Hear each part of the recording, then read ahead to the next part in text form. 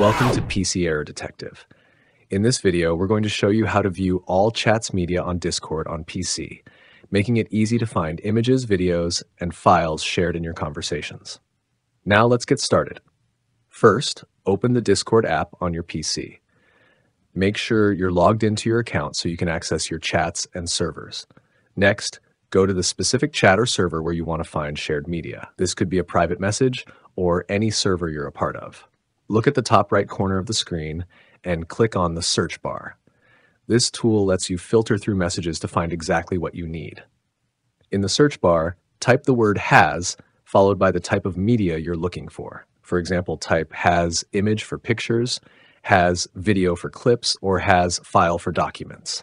Finally, press enter on your keyboard. Discord will now display a list of all matching media shared in that chat or server. And that's it. Thanks for watching, and don't forget to subscribe to PC Error Detective for more helpful Discord tutorials.